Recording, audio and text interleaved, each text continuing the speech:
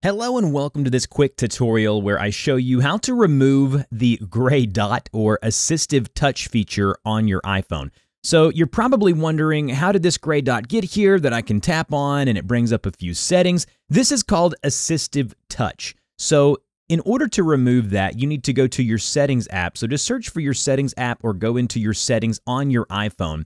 And you want to go down to where you see accessibility. So just tap into accessibility right there underneath general. And then you want to scroll down to where you see the section physical and motor. And you want to tap into the option at the top there that says touch. Tap into touch. And then at the very top or towards the top, you'll see an option that says assistive touch. Just tap on that guy there and then go ahead and disable by unchecking assistive touch.